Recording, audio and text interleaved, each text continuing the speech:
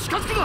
危ねえぞ。分かってる。うわあれ顔だあ冗談だろ。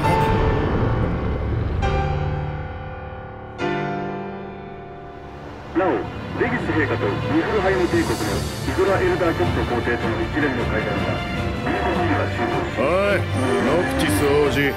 起きたかオートからの放送じゃもう無理だべダメか。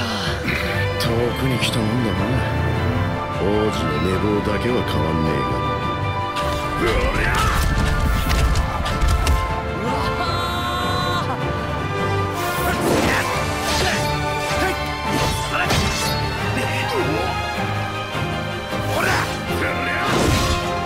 あれって燃えてんの？神話の時代の隕石だた座りっぱなしで体痛えわ。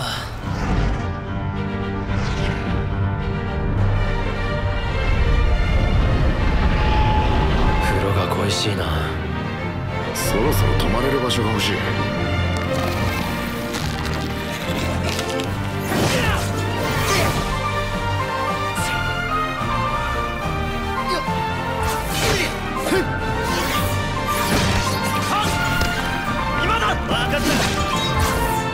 ルーナはオルティシエにいるらしい。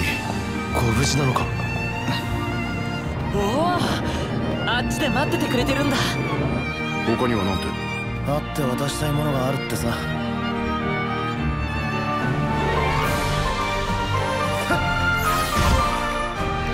行くよはいよどうや大丈夫かノクトまあちょっと休んでな。くそ。手加減は山抜けたらそろそろ海だよね。